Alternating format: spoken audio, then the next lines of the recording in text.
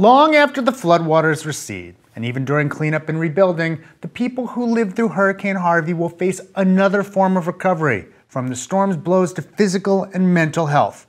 That's the topic of this week's Healthcare Triage.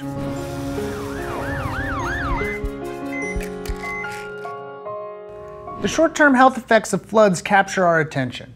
Harvey has already caused dozens of deaths, and in 2005, Hurricane Katrina killed more than 1,800 people. And as we record this, Hurricane Irma is bearing down on the Caribbean and Florida. Floods kill more people in the United States than tornadoes, hurricanes, or lightning more than 100 people each year on average. And people endure injuries and illnesses in numbers that far exceed the death toll. When Hurricane Iniki hit Hawaii in 1992, injuries went up by a factor of six, and more than half those injuries were open wounds. Waterborne and communicable respiratory and gastrointestinal disease can spread amid the breakdown in water sanitation, contamination from industrial or hazardous waste sites, or the higher density of people crowding into shelters. A systematic review published just months ago showed how various phases of flooding and storm disasters affect health. Researchers found that wounds, poisonings, and infections of the gut and skin increase soon after storms. Gastrointestinal infections increase more frequently after floods. Diabetes related complications increase after both. People with chronic conditions like cardiovascular disease or respiratory illness are particularly prone to health problems immediately after a storm, and their care can be complicated by lack of necessary medications or access to medical records. After Hurricane Katrina, one study found that 14% of emergency visits to healthcare facilities were to treat chronic conditions, and almost 30% of those seeking care were sick enough to warrant admission to the hospital, which is much higher than average for emergency departments. An additional 7% of emergency visits were to fill medications. Visits to the doctor for conditions such as asthma and heart disease also increased significantly after Hurricane Iniki. Harvey caused the shutdown of dozens of dialysis centers. Patients with kidney disease rely on dialysis several times per week, and missing even one session can have severe consequences. But large floods and other natural disasters have longer term physical and mental health consequences we're less attuned to.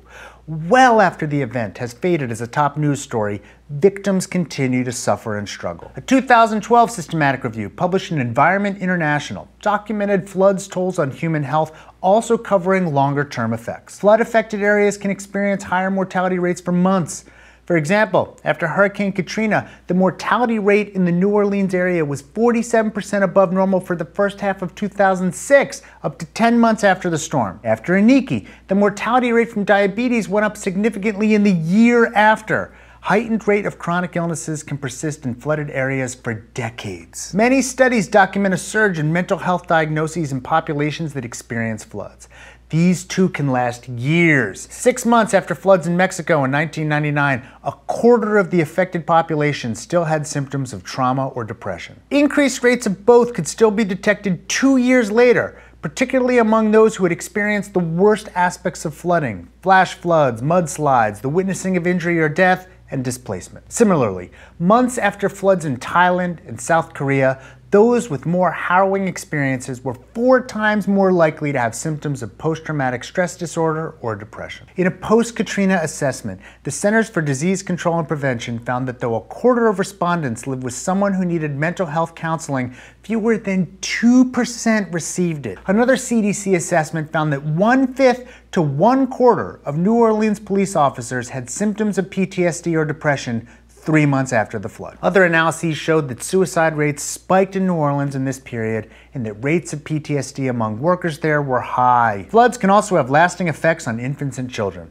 with access to obstetric services challenged during and after a flood, as well as negative effects on pregnant women's physical and mental health, researchers have found worse pregnancy outcomes in flooded areas. One study of women who became pregnant in the six months after Hurricane Katrina found that exposure to the hurricane was associated with earlier delivery and delivery of a lower weight infant. Another study of pregnant women exposed to flooding in North Dakota in 1997 had similar findings, but also found increased risks to the mother, including anemia, eclampsia, and uterine bleeding. Research tells us how we might respond to natural disasters like Harvey.